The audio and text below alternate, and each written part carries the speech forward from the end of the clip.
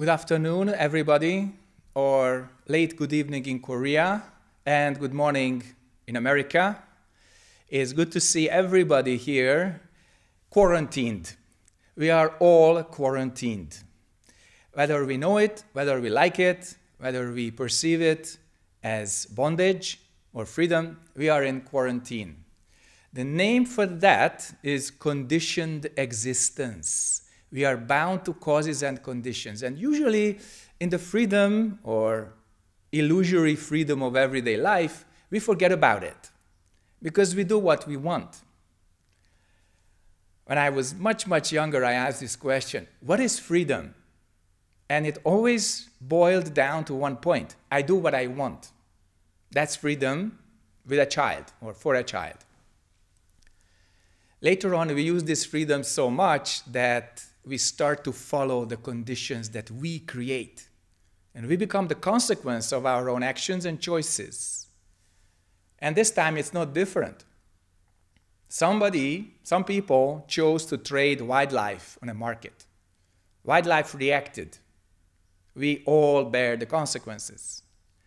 So our job is really to see cause and effect as it truly is and use this quarantine situation to get rid of all our illusions, presuppositions, and ideas about this. That's something we can do. If we don't do it, we don't use the situation correctly. How do you know that? You are bored, you feel confined, you don't know what to do, you're stressed. And I don't mean relationship stress, I mean inside. You don't know what to do with the situation. Most of you, looking at me from the screens, you have families. So your family gives you a lot of jobs. More children, more jobs. If you live alone, different job. But no matter what, we created these conditions for ourselves and for each other. We have to live with these conditions much, much closer than we are used to, or sometimes we would want to. So the question is in this limited physical space where we are most of the time, how do we create mind space? You cannot create mind space by telling people, leave me alone. You can't. Because they come up to you, especially if you are the adult in the room. You have to deal with them. Last time we spoke about approved silence and schedule. Now we take one more step. How do we help those people who we share the apartment with, we share our lives with, go on the path of awakening? Well, definitely not by preaching Buddhism or teaching them Zen, but actually getting down to business that you have never done before or not deep enough. This is the time to really go deep and clarify the relationship. Relationship with your spouse, with your children, use the problem to ease the problem. Ask the question to get the right direction, not necessarily the right answer, but the right direction. And the right direction starts with the right question. Sometimes you have to ask the other person who is talking to you, Do you hear what you are saying? Do you really mean what you are saying? Is this you talking or your frustration talking? Is this you or your anger, your whatever karma you carry talking to me. So we learn to distinguish between the creator and the created. We learn to perceive clearly as we are and as the relationship is. Why? This is one of those cases when we did not create the situation outside. It was imposed by the government and governments. This situation is something we have to follow. And now I remind you of uh, Seung Sahn Sunim's poem, very soft is true strength. With harmony comes luck. Follow situation, get happiness. Forbearance will make you a great person. Well, ladies and gentlemen, this is the time. This is the time to have forbearance, endurance, and stamina, because no matter how you look at it, this is a marathon. We are running a marathon here. This is no longer just one week, two weeks, three weeks. This, is, this has been over a month for most of us. And this quarantine situation is, like I mentioned last time, is like a forced retreat. It's not something we want, it's something we have to do. And one line higher, follow situation, get happiness. So if you just encourage your family members to follow the situation and not make anything on top of it, you can get some basic happiness that nobody bothers another. And the first line, very soft is true strength. This is the time to really attain that. Because if you really go hard on someone, it bounces back. It bounces between the walls of your apartment all the time. They remember for days how you talk to them. The relationship is now short circuited. You're together, you're confined. That's when this soft strength is wonderful. It has to be strength, it cannot become this mush of wrong compromises. But as we run a marathon, the strength, the stamina, the endurance is necessary and indispensable. So, how do you keep this endurance mind? The forbearing mind. That's what we call strong center. So, moment to moment, return to your Tantien. Moment to moment, put it down completely, whatever you think, whatever people tell you, whatever you feel or others make you feel. So, thinking, speech, emotions, these little actions, completely put them down. So, when we say be present and be together, this has meaning. This now has much deeper meaning than otherwise. And if you have conflicts, because I'm pretty sure you have experienced a lot of conflicts, where do they come from? So sometimes you have to say, honey, I need to think about this. Or, sweetie, just a moment and daddy will answer you. And then take a moment to have some introspection and use the object oriented question as you learned during the workshops and retreats and from the Dharma talks. What is this? Where does this come from? If I feel this conflict, what's my part in it? How can I remove my karma from the equation? How can I become pure, reflective, clear like space, clear like mirror mind? How can I do that? And the secret is that you can do this by not doing anything, by not making anything, not wanting anything, no checking, no holding, no attachment, no false identifications the list is something you know. But the real question is how much can you fulfill the shopping list? What's in your actual basket? i.e., what's on your mind? Can you keep your mind clear moment to moment? That is the question. And if you can't, immediately there's a surface, a dualistic reaction, some self from which karma bounces off. Some reaction happens inadvertently accidentally. Well, there are no accidents. There are moments when you are not aware. There are moments when we lose the moment and we are not aware of the situation. And these moments take revenge very, very quickly. The feedback loop is very short. So use this situation. Last time I mentioned, Seung Sahn Sunim quoted, bad situation, good situation. How? How can that happen? Well, just like I've said before, use this to go deeper, use this to become more aware, more honest, no games, no roles, no wanting, no rejections, no attractions, just as it is.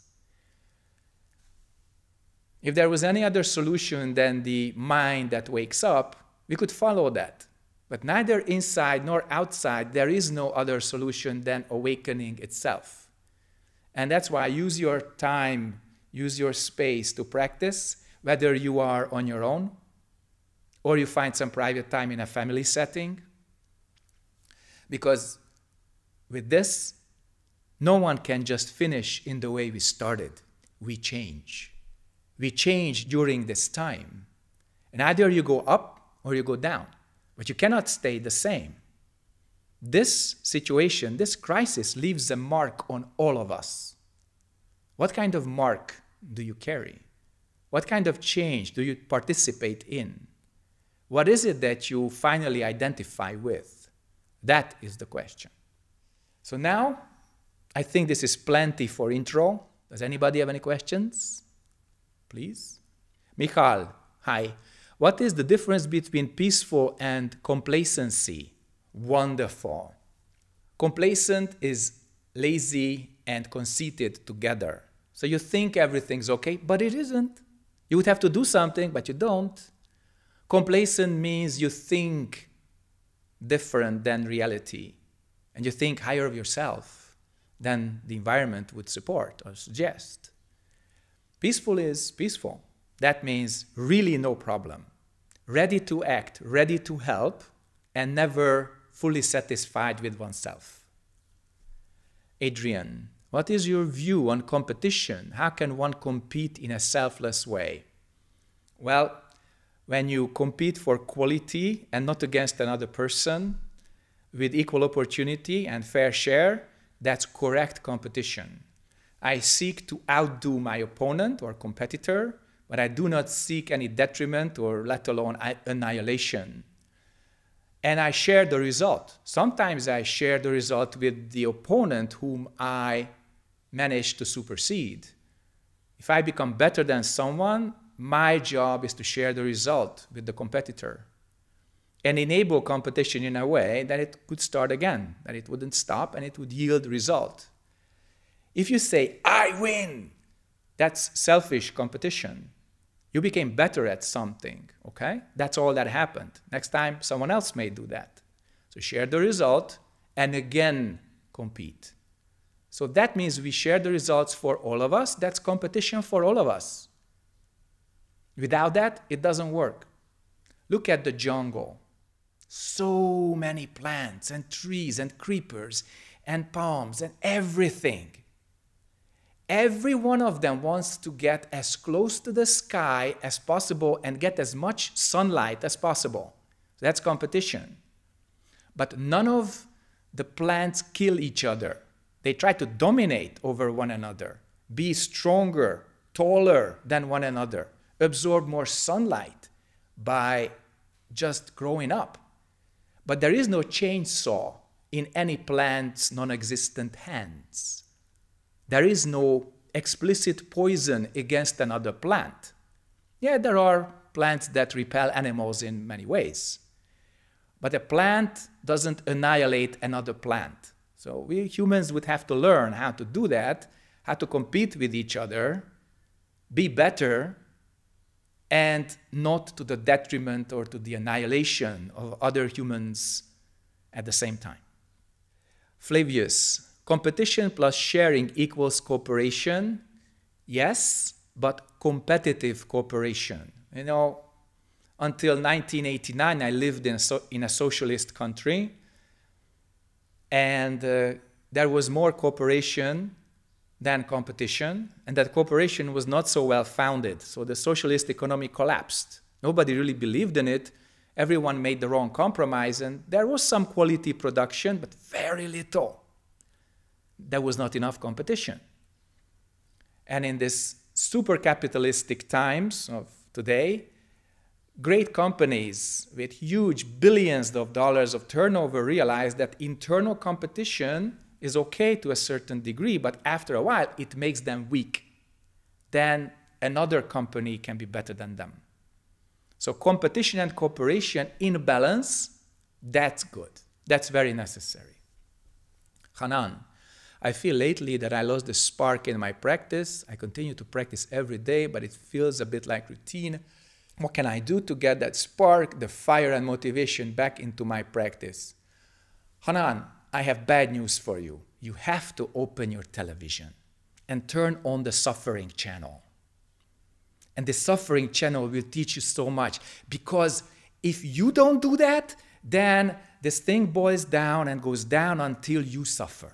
So before you lose too much energy, before you lose even more motivation, get some motivation from the suffering of others. 8 billion more people. There's plenty to watch, okay? How do you suggest to increase the relation between people at this moment? Some people see each other like a potential source of infection, prefer distance. Thank you. Keep a distance. That's my suggestion, just what you want. But cooperate enough that you would have enough to eat and you would help others get enough to eat So let's take care of each other without the danger of infection. Anat hi. What is the primary point and how is it connected nowadays to this corona time? Anat, primary point right now is not just a big hit with the stick. Primary point is your unmoving mind. Unmoving mind means no fear, no aggression, no greed, no rejection. This unmoving mind is fearless, and whether you are infected or not, you remain unmoving. You know what to do. No one can rule out an accidental infection, no matter how much you are careful. But if your center is strong, you have no fear, and you are able to help and receive help, whichever is necessary. Some people have a hard time helping another person, some others have an extremely hard time receiving and accepting help from one another. A long time ago in Korea, there was an entry ceremony for the retreat. It was very short, but people from foreign countries, they had to bow three times to the Buddha, and the Korean monks and the Western monks were there for breakfast in the Kunbang, in the great room. And then as the entries were accepted previously by the office, people had to come in at the end of breakfast and they had to bow to the Buddha, they had to bow to the Sangha, and then kneel, and then with hands in Hapchang, they say, My name is this and this, I come from this and this country, I would like to participate at the retreat, please help me and teach me. And this is very classic.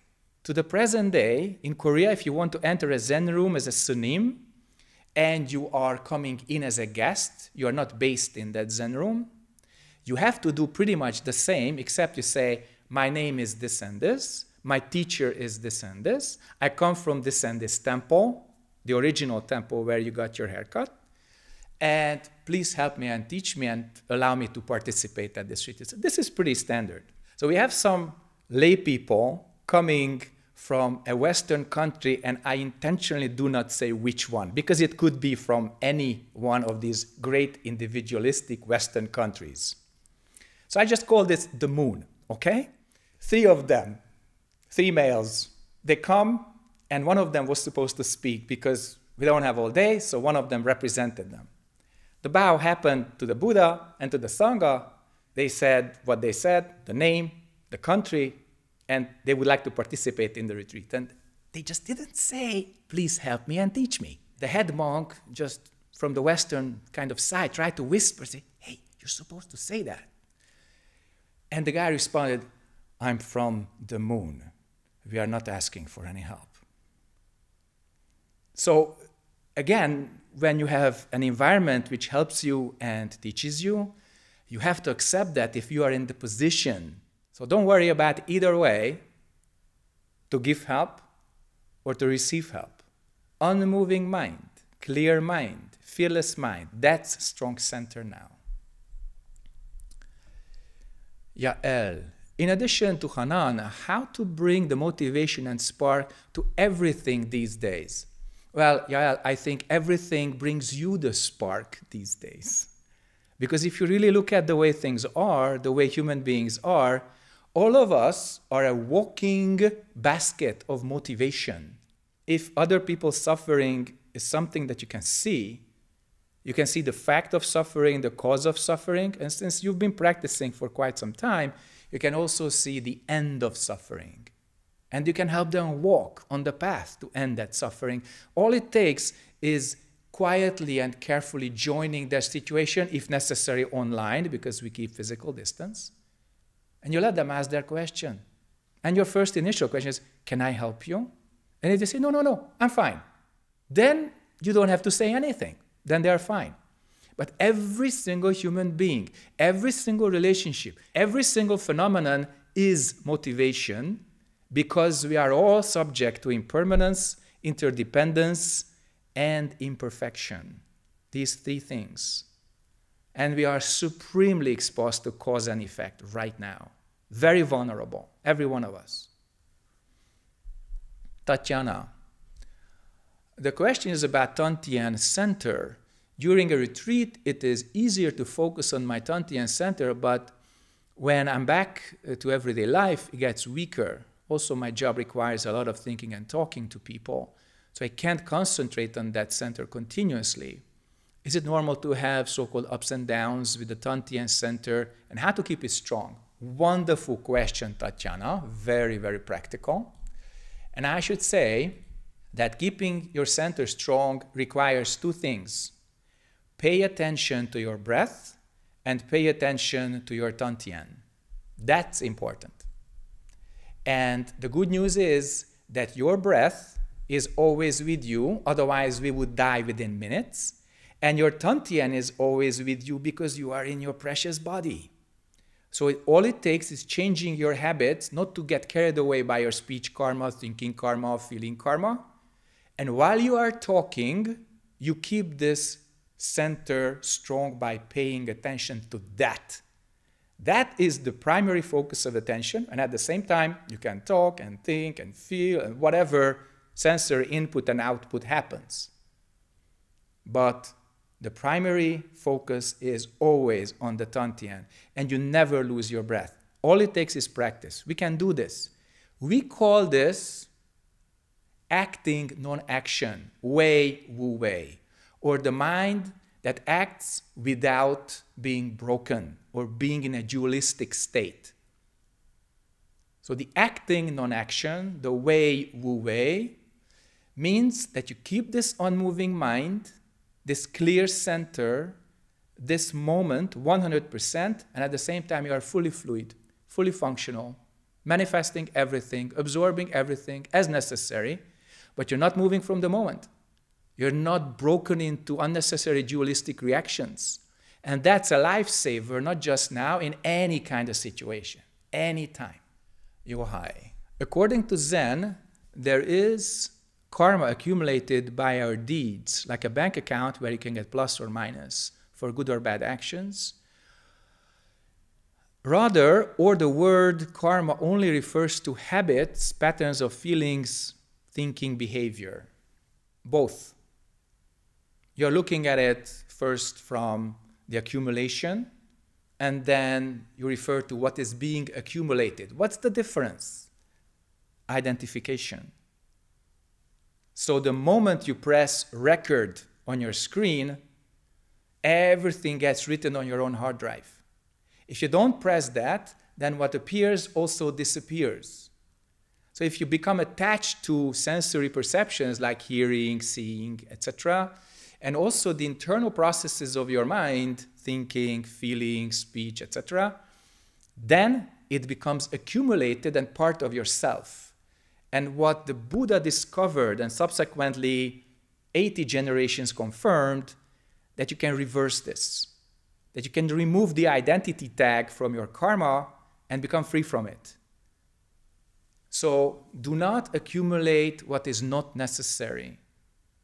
And what is necessary, you should have. So, what is it that you want to take with you? What is it that you want to have as a component as part of your soul, i.e., what kind of person would you like to be? Now, accumulate that. And if you don't want to be someone, then don't entertain those thoughts, those feelings, those actions, that kind of speech, which would make you into the person that you do not want to be. That's very important. And thus, we can keep an operational personality that is agreeable agreeable to you, acceptable for your environment, but don't always accept 100% approval. You won't have it. In fact, if you have 100% approval, something's wrong. About 10% of counter opinions, that's necessary that's very healthy. In other traditions of Buddhism, there is a practice of metta meditation, cultivating love and kindness. Why doesn't Zen have this form of meditation? And what can we do to develop metta through Zen tradition? Look, Hanan, we have compassion meditation. If you go to this wonderful Zen center in Ness Ziona, you see this great love, great compassion. Dae Ja Dae Bi, okay? And I'm very happy to see the smile of Tamir Massa's Dharma Master in the top right of my screen. Because that's why it's there. Because we have that practice, we don't call it metta. But when you chant Kwanseum Bosal, you become Kwanseum Bosal if you chant it in the right way. So Zen doesn't really talk about how to extend that to the rest of the world, how to manifest it, because it comes by itself. Zen always takes care of the root, the primary point. How it happens inside that you can completely let go of all your selfish feelings and selfless compassion comes. And becoming one is the key. So we practice this one mind, which is no mind. And this no mind is the source of non dualistic wisdom, selfless help, and 100% compassion to all beings. In fact, out of this oneness experience, nothing else can come. Only these three major things. If you don't have it, then don't try to grab the fruit. Go to the tree and cultivate the tree. Practice this one mind. Become one with the situation. Become one with the minds of those people around you. And when you do that, necessarily, naturally, compassion develops.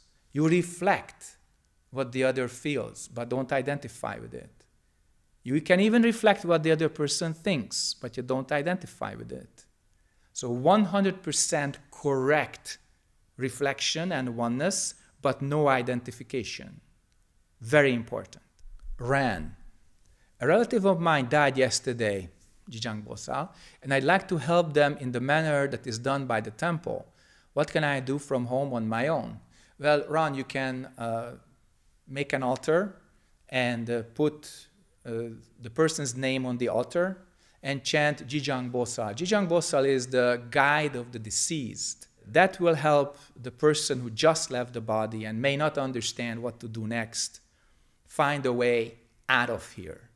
It's not a problem that we die, we all do. The problem is we don't know what to do afterwards. First of all, most of us are afraid of death. And once we are out of the body, we do not have a way to get rid of our own delusions.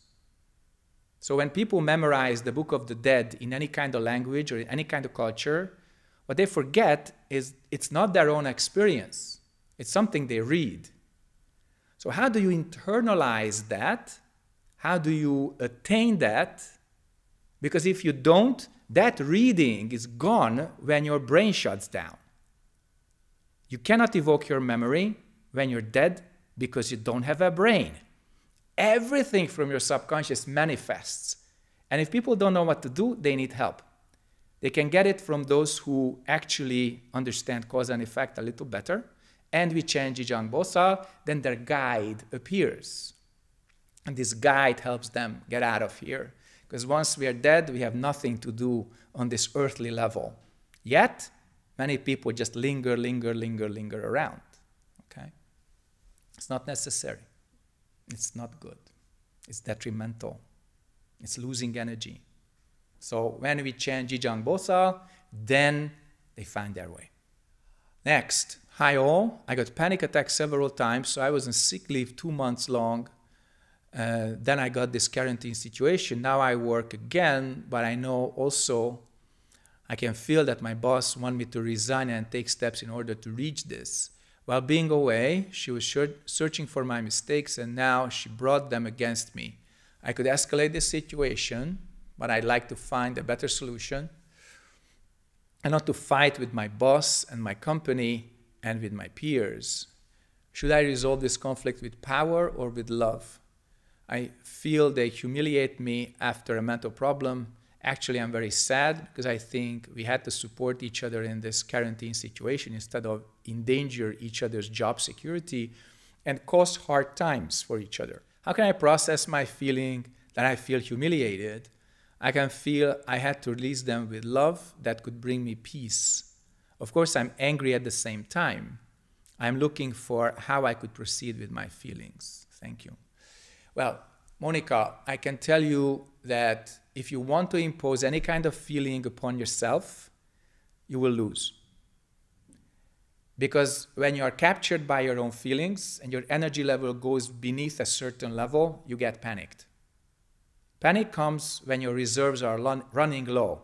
It's your meter going into the red. You have to fill it up. So at this point, none of the tactics that you suggest in your question would work. What would work is that you recharge the batteries. You get to a higher energy state and to a greater clarity of mind, and that would help. All right? Do not look for a specific emotional pattern. See your true situation. Even that is difficult right now. Imagine that you're the captain of a boat in a bay near the shore where there's a lot of rocks just underneath the surface of the sea. If it's low tide and you start sailing, you hit the rocks because you don't see them. The water is not high enough. And if you hit the rocks, you lose the boat, you lose the crew, you lose yourself. If you're smart, you wait until high tide. Sometimes high tide reaches one, two, three meters higher level. Then you can sail over the rocks. It's the same as the energy level of the mind. If you're low on energy, you panic because you are lost between the feelings that you create, also between the thoughts that you create. We call that the entropy of the mind, when you disperse and you lose yourself. Don't do that. Don't follow that. Don't attach to any kind of feelings or karma. Put that completely down, return to your Tantien, and practice. Make a schedule for yourself. Ask for instructions if necessary. Without practice, you won't reach a good solution. Without the high tide, the captain cannot sail, no matter how well they use the steer on the boat. Okay? Vineta. I feel a lot of emotions fear, aggression, anger, upset, lost hope. I always return to the breath and I feel these emotions, but I recognize that I'd like to ignore them. After a long time meditation practice, I realized I have pressed down all the emotions, how to process them correctly, how to be aware of them, let them be, but not ignore them by jumping in meditation. Well, Vinata, it's not uncommon what you write. In fact, many times in the West, when we start meditating, we believe we have to be perfect right away and become Buddha right now. In fact, that's what we learned from some schools that you can become Buddha right now. Well, I don't judge this statement, but all of us who've been practicing for more than a few years, we understand this. We can all become Buddha right now, potentially, but all this is good for seeing the karma that's in our backpack. Now you see your own emotions in your own backpack. Wonderful. So do not use the technique to suppress them. If your intellect is too strong, you use your practice, whether it's the question or just watching the breath or even using a mantra, to appear before yourself as a clear and wonderful practitioner. It's not going to work. If you compress karma, it will explode. It's like gunpowder, okay? That's why in the old days, with the cannons and guns, they had this strong compacting move, and then they put the cannonball in, and then boom, then the cannon fired. If they don't compress the gunpowder, then it's not going to explode. Vice versa, if you don't compress your karma, it will not hit back because it doesn't get critical mass in your subconscious. But if you use your practice to suppress your karma, one day it explodes. Why? Because you suppressed it. So use your practice, your clear question, and your mantra to stay at this moment so that the body and the mind would not become separate. And your emotions and your thoughts wouldn't take you far, far away into either heaven or hell. But let your karma appear and disappear. Do not want to be perfect. Do not want to reach enlightenment right away. Become clear moment to moment. Then you can reflect your karma very clearly. And if you let it happen, if you let it come and go, after a while, it runs out of steam. It runs out of energy. Why? You should understand how you fuel your karma. If you give energy to your karma and information, it exists. If you remove energy and information, your karma begins to disappear. Energy is willpower. Either you want it or you don't want it. Information is that you judge it. Either you think it's good or it's bad. It's you or it's not you. So stop the reactive mind. Then the energy and information begins to dissipate from the karma and it goes away without a trace. Why? Because you manage to unmake it. If you make it, you have it. If you don't make it, you don't have it. All your karma is impermanent, interdependent, and imperfect. If you're not attached to your karma, these three laws work for you. If you are attached to your karma and identify with your karma, these three laws work against you. Remember that. Okay? And then if you practice like this, soon your karma will become more easy, more flexible. It starts to be more fluid. Okay? Then what appears will also disappear. You don't touch it, you don't make it grow. Yutka. What is the mantra to defend or protect myself from a family member who always wants to defeat me and everybody else verbally? I'm not the enemy, nor are the others. Thank you. Well, Yutka, when you have the situation, then first make sure that you have some private time when you can practice Kwanseum Bosal mantra. Compassion and compassionate mantra is the key to, to melt this kind of person. And when it happens, then don't react. Be present without any reaction. Intelligently perceive the impulse from the person who wants to defeat you or everybody else. But remember, all this is a consequence of some previous karma. Remove the cause, then the effect will disappear. Don't even try to dominate back. Instead, solve the situation. Focus on the object, on the situation, and don't worry about the subject, the person who, who tries to dominate you in that situation. Why? Because your action power will become greater. You will be able to act more accurately and more correctly than the person who wants to dominate you. Because that person is not really in the situation. Instead, he or she focuses on the wrong side of the relationship. You will have more energy, more focus, and better output. In this way, you can totally disable the attempt of domination. From Hanan to everyone, I was wondering how Zen views out of body experiences. Zen doesn't view out of body experiences in any different way than in body experiences. Most important is if you're out of the body and you are still alive, come back. Come back. Be in the body. If you're too much outside of the body, then you keep dreaming, dreaming, dreaming. And if you have too much energy outside of the body, the cord will be cut and you die. Please don't die. Please be alive and finish the incarnation at its natural end. Come back to us, okay? Everybody loves you, so come back same questionnaire. I was asking because I had it for a long time and then it stopped. How do I return to OBE, out of body experience? Please don't return to this experience because being attached to the experience means you disable yourself. You are not in the body, so you cannot live. Also, since you are not dead, you are not permanently outside of the body and you cannot even die. So please be alive because you were born and you haven't finished yet. Do it do your life. It takes the greatest courage. Ovidio, as an epileptic, I had a few seizures last year during meditation, which left me physically, but also emotionally scarred. Now, after finding, testing the right medication, I am in a struggle right now that I feel fear for meditation. Any idea about it? How can I overcome this fear? Look, Ovidio, if you are epileptic, then you should consult your therapist or doctor. Meditation itself disables intentionally the self defense capabilities so that all your karma can appear and also it could disappear. But if you have epilepsy, this can be really dangerous. So please consult your doctor, and in line with this consultation, you can work something out that is not dangerous for you. Hanan, in Zen, we talk about how everything is complete, to accept our situation, and that everything is created by the mind.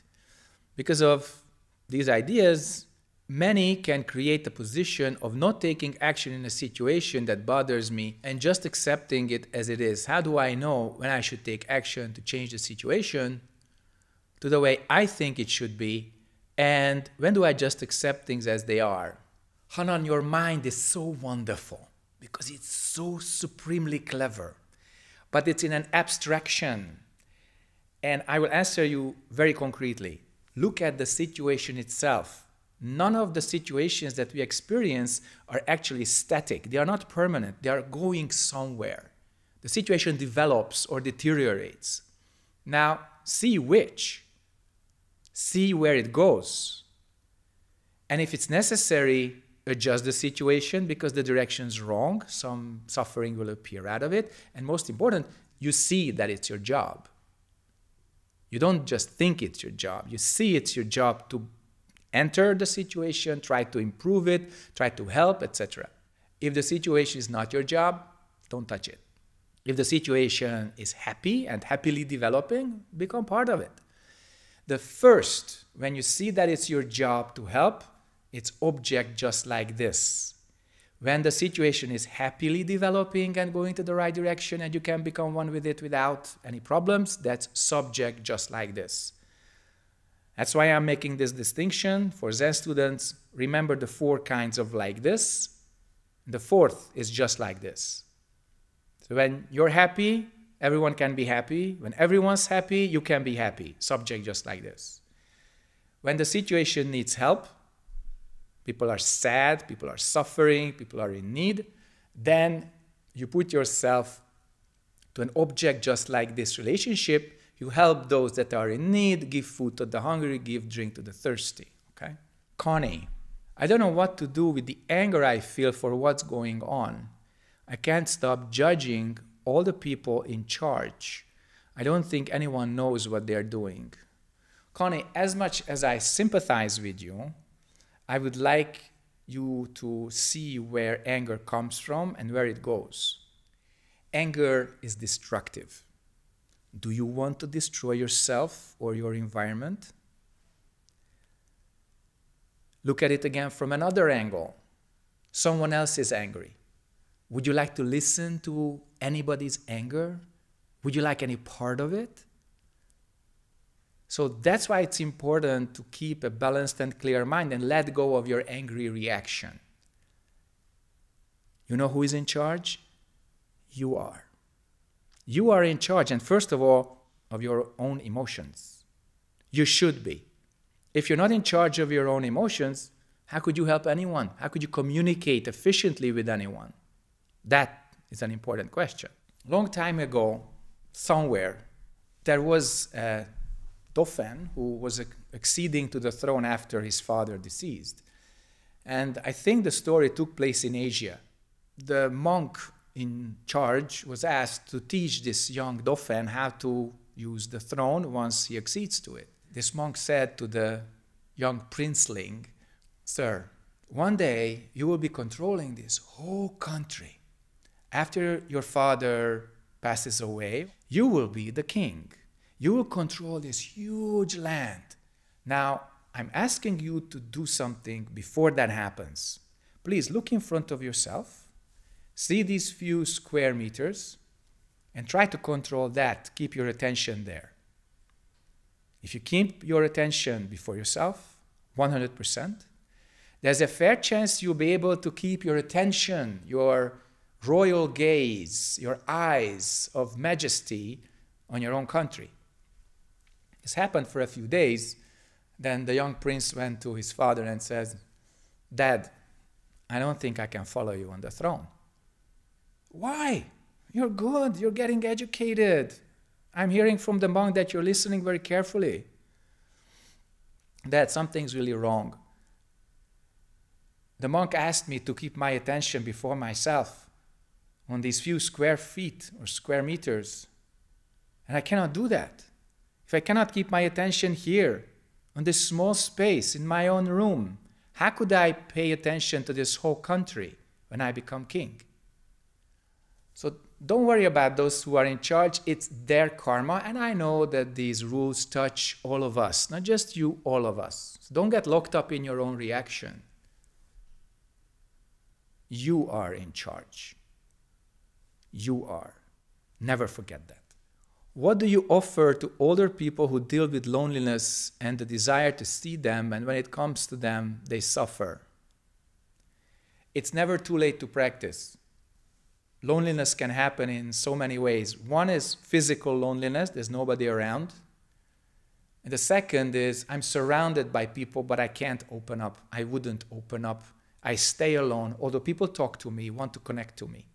You should be the bridge help those people open up. Be totally receptive and compassionate. Compassion goes through everything, it melts all hindrances. And if you can be totally open, that inspires others to be open, other people included. ST. I do not usually remember my dreams. During this period, I began to remember. What can I do with it during meditation? ST, many times our dreams are like the cleansing process of the mind. You do not have to consciously remember them. But if they come up during meditation, then ask the question where does this come from? And just perceive. And then you go one layer deeper and you will see why your subconscious sent you that message, why you had that dream. Don't intellectualize, don't think about it, don't rationalize do not try to make a system or a theory to dissect and understand and analyze. Don't do that. Just perceive with one question where does this come from? Keep your mind simple, keep your mind clear. And if you can do that, the dream reveals its origin. And once you see the origin, the dream disappears. Then you're complete. Reverse, if you keep having the same dream or dreams all the time, then you have not revealed the source. You haven't attained the source yet. Mikhail, how can we help in addition to our personal practice and how our practice helps others? Mikhail, you have three children. You have attained that so many times how to help people. I'm pretty sure that you know this. So if you ask this question for someone else, then ask it that way. But I know you very well and you help a lot in addition to your personal practice and you know that very well how to do it. So keep doing it. This situation for you not so special. You learned how to take care of your family very early. Please keep up the good work. For karen to create a relationship needs mental adjustment and physical attraction and not always have both. I do not want to compromise. How can i overcome this karma that will come to me do we have these two things in common? Physical attraction is like a good booster. We feel attracted, lots of energy appears, and then the mind is ready to compromise in a lot of ways that without the attraction it wouldn't happen. That's why I say beauty comes in a package. And most of the time, we do not see the rest of the content. We see the beauty only. Then attraction becomes commitment, and over time, we see what else is in the package. But we don't want to lose the primary attraction and the beauty, and we don't want to give up the commitment, etc., unless conditions become really bad. So see physical attraction for what it is. It's temporary. See mental attraction, well, you can work on that and maintain that. And I wish that the second would be just as important as the first. Most people are working on their physique, on their bodies, on their faces, how they look. Well enough, fair enough. We don't want to look ugly. But whatever you do, physical attraction is very temporary compared to the, to the mind's need for intimacy, connection, security, committed and long standing relationship. All right? So after a while, the mental attraction will precede the physical. We all have to live with someone, whether it's a family or a sangha or just a partner or a dog or a cat. How do we do that? If our minds are not beautiful, you can have a fantastically beautiful body, but you become unbearable for the other person, and eventually you will become a beautiful and lonely person. There are some people whose bodies are not looking so great, but their hearts are shining. Their hearts have wisdom, compassion, all these good human qualities. And that's attractive. And in the long run, this attraction will be more enduring than just the physical. Michela, hi. I want to know if a sustained meditation and mindfulness in life can heal a bipolar disorder which doesn't respond to any treatment. Michaela, primarily meditation was not meant for these kinds of treatments. So you have to consult a specialist. And if the specialist recommends meditation next to the treatment that you need professionally, then you can do that. But please understand, in the Buddha's time or subsequently in India, Tibet, China, Korea, Japan, this was not the issue. The issue was healthy people waking up from their own healthy illusions and get awakening beyond the everyday mind. Odale, do we have to accept everything from the government? How can we protest in this time? We cannot go to the streets. Oh, Odale, protest inside and then you can have connections outside. Of course, you cannot go to the streets. But imagine that you're not alone with your unhappiness with the government, so try to connect to those people who feel the same way. But be careful. Some people are professionally unhappy with the government, and at the same time, they have a mission. They are agents provocateurs. Don't fall for that. From Sigalia, how will I stop eating? I was fired from work last week after six years. I understand the connection you will not stop eating. Maybe for a few days you can fast, but after that you have to start eating again. You were fired from work last week. On what grounds? You should see that. Was it legal?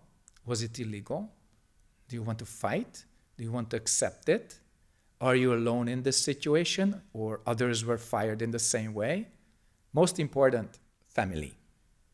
You have family. The family should help you. And then when it's your turn to help them back, you will. I remember from Korea, we had many kinds of supporters in Korean Shindo or Shindonim. Some of them were young urban professionals, and three sisters lived together in one small apartment near the temple, a few bus stops away. The eldest sister was a photographer. Later on, she turned into a textile artist. The second was a secretary, and the third the youngest was aspiring to become a painter. They lived together, no other people, parents, or other siblings in the house, no partners, of course. And one of them was making money, the other two helped with everything around the house. And I asked, how does this work? I mean, we are from the West anyway, where this is uh, not easily accepted. The eldest sister, the photographer who was making bread for the family. She was the breadwinner. She said, It's no problem. I can do this for years. When it's my time to study or have a child, my sisters will help me back. Strive for that. Find these relationships that are trust based and not interest based. You can get some help that you will return later. Hello, Sunim. How can I keep my attention or mind constantly awake or clear during the day? Thank you. Well, what do you see now? What do you hear now? What are you doing right now? Moment to moment, see clearly, hear clearly, perceive your body and mind. If you have this clarity, then inside, outside, all become one. And this attention as one point should be in your Tantian, but it should also be around at the same time in space reflecting everything and everyone in this space. That's good practice. Hi, Vera.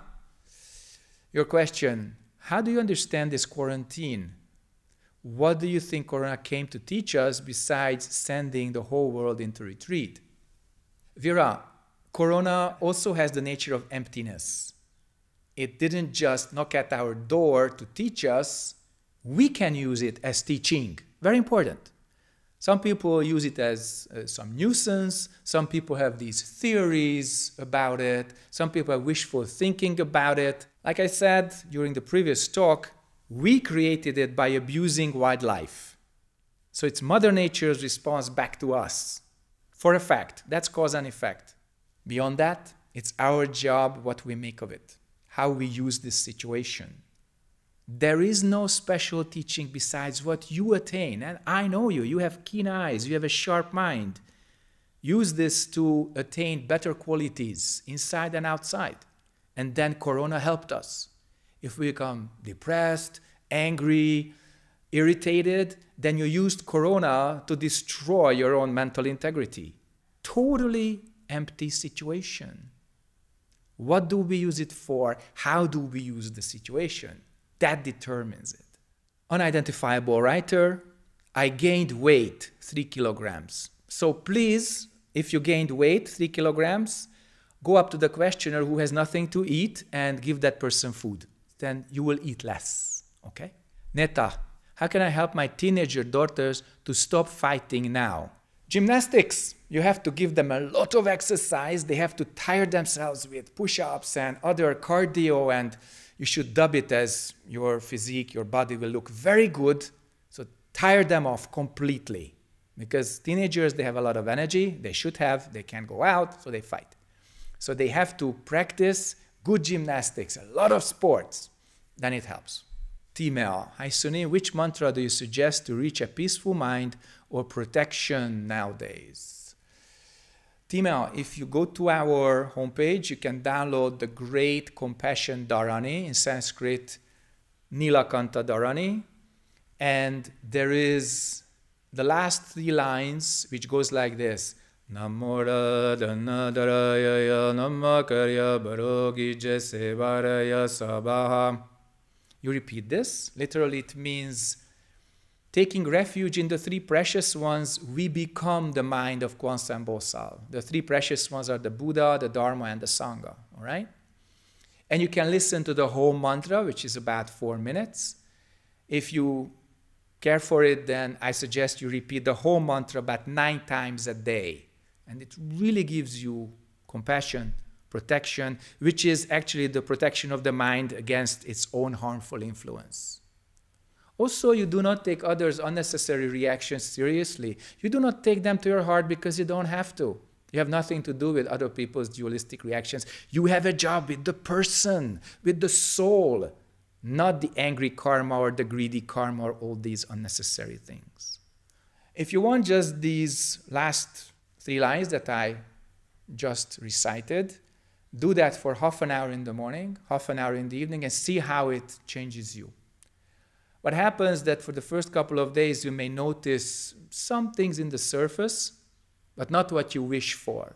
So give yourself enough time. There's time. Everybody is locked up. There is time.